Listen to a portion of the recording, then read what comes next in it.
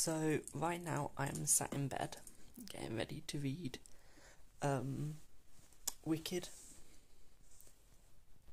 My Alexa just stopped. Alexa, carry on. Is it gonna work?